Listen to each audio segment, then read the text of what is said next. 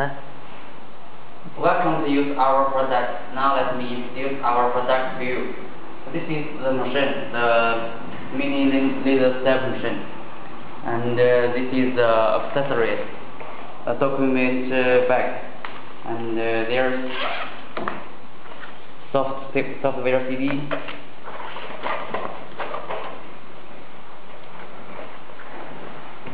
USB line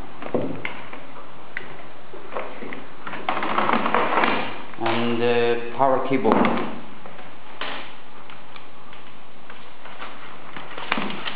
This is the user menu and the mixer dock for this CD for the software. Okay and uh, this is the uh, smoke cap and the exhaust fan. And this is the water pump